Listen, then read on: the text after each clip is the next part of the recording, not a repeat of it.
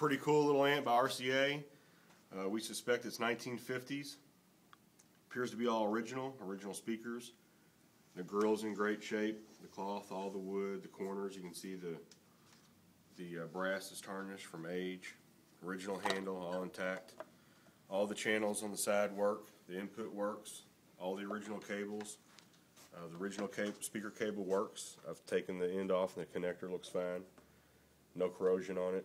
Uh, all the tubes have all been gone through. The whole thing's been gone through and cleaned up, and it, it sounds great, clean as a whistle.